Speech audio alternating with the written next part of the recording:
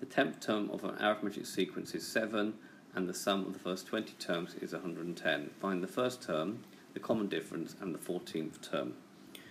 So, u10 is equal to 7, extracting the information from the question.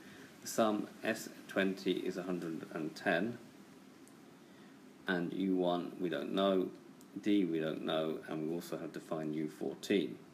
So we're going to make some equations with just this information. So we know that un is equal to u1 plus n minus 1 times d. So using this, u10, we're going to have u1 plus 10 minus 1 times d must be equal to 7. And then for the sum, we know that Sn is equal to n over 2 brackets 2u1 plus n minus 1 times d. So we're going to have 20 over 2 plus times 2u1 plus 20 minus 1d is equal to 11. So from this one here, we're going to get, sorry, is equal to 110.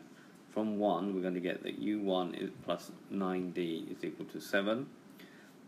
And then from this one, we're going to get that 2u1 plus 19d. Um, 20 divided by 2 is 10. 10 into 110 is 11. So we're going to have 2u1, 20 minus 1, 19d is equal to 11. Call the top one equation 1, this one equation 2 attempt to make the u's the same.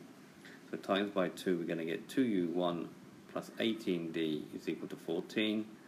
And then write the other one directly underneath. Because we're going to eliminate u1, we're going to subtract. So 2u1 minus u1 gives me nothing. 18d minus 19d gives me minus d. And 14 minus 11 gives me 3. Therefore, d must be equal to minus 3. Substitute d is equal to minus 3 into equation 1. So we're going to have u1 plus 9 times minus 3 is equal to 7. u1 minus 27 is equal to 7. u1 is equal to 34. So we've got that u1 is 34 and d is minus 3. Now using that we now find the 14th term.